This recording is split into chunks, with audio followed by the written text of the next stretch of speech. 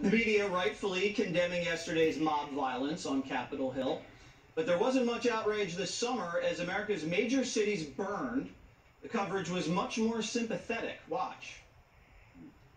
Show me where it says that protests are supposed to be polite and peaceful. Largely peaceful demonstrations in the face of law enforcement. It wasn't until night fell that things began to get a little bit more contentious. This is a mostly protest. Uh, it is not. Uh, it is not generally speaking unruly. Democratic cities are in chaos right now. Is this what you want from Joe Biden? And they're going to take your country away, and they're taking down the statues. And Crime is rising crime as is they rising. defund Oh my gosh, it's so bad. And they are defunding police. It's like. It, they, the Democrats don't want to defund the police anymore, do they, Greg? They were uh, they were Yeah. very grateful that the Yeah. police were there to help them out yesterday. Yeah, during the summer, they were very concerned about the optics of the police responding to threats, looting, violence. They, the police had to be hand, essentially metaphorically handcuffed uh, to, to keep from being seen of, of roughing up any of the, um, you know, the virtuous protesters. But here now, they're demanding that the police step up to the plate because these are not their protesters, right?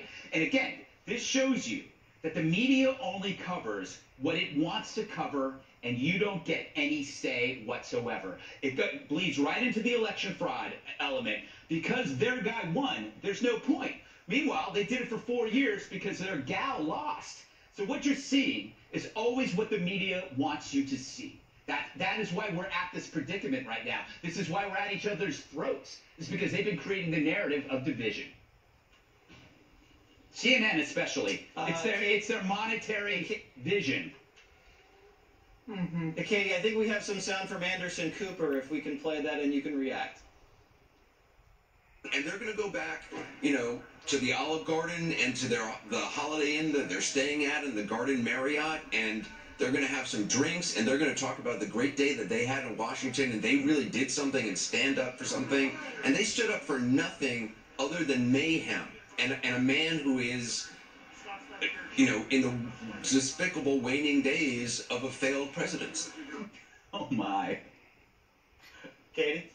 this is why I don't think anything's going to change because they have no self reflection about ignoring the past year of violence and they have no intention of sitting back and maybe taking a look at why this might be happening and not, you know, making fun of people.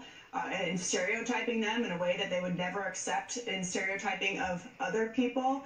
I just find it amazing to continue watching those clips over and over again, to watch the reporters standing in front of a burning building and the Chiron saying fiery but peaceful.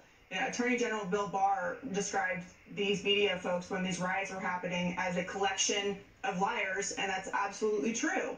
You can see with your own eyes what's going on. They're telling you it's not actually happening. You see that the majority, uh, uh, that- not the majority, but there were studies done to kind of prove that BLM and Antifa were peaceful protests, but it actually turned out that that many of them turned into rioting and looting that will devastate communities for generations to come. And now, you know, they did this because they wanted to protect Joe Biden.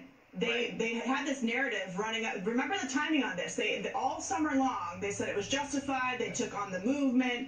Corporations donated billions of dollars to people who were looting. Kamala Harris put out a link to bail people out of prison uh, for looting and engaging in arson and, and a number of other crimes. And yet, right in September at the beginning, the narrative in the media changed. I remember the exchange between Don Lemon and Cuomo saying, oh, well, this is showing up in polling. This is starting to look really bad. Maybe people should stop doing these things. So it was only until it was not politically expedient for Joe Biden that the media actually changed their tune on this, which shows you they're more interested in politics actually just reporting what's going on, whether it's happening yesterday at the Capitol or in Minneapolis last summer. Dana, yesterday the president took to social media and told everybody to come back peacefully and, and, and knock it off. And uh, social media giants, Facebook and Twitter, pretty much told him to knock it off and froze him out for a little while. Uh, how did you react to that? Well, I think that you know if you look at what the the, the full content, the full text or the full um, video of what President Trump said, it wasn't just that he said, "Please stop, everybody, go home." It's that they are the social media companies are saying you are continuing to repeat things that we have determined not to be true, and therefore just because he said you know go home peacefully and I love you, um, they took that first part and said, okay, we're gonna we're gonna shut this down. Uh, It, it's an interesting thing. Um, this the social media piece. It's it's there's going to be a reckoning on that. Um,